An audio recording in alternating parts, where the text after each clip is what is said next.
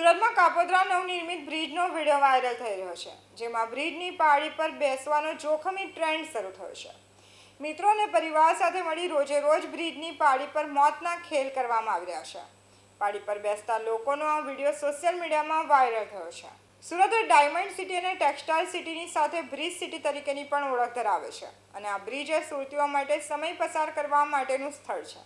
સુરતમાં તાપી નદી પર બનાવવામાં આવેલ વિવિધ બ્રિજ ઉપર રાત્રિ દરમિયાન મોટી સંખ્યામાં લોકો પરિવાર સાથે કે મિત્રો સાથે બેસીને સમય પસાર કરતા હોય છે.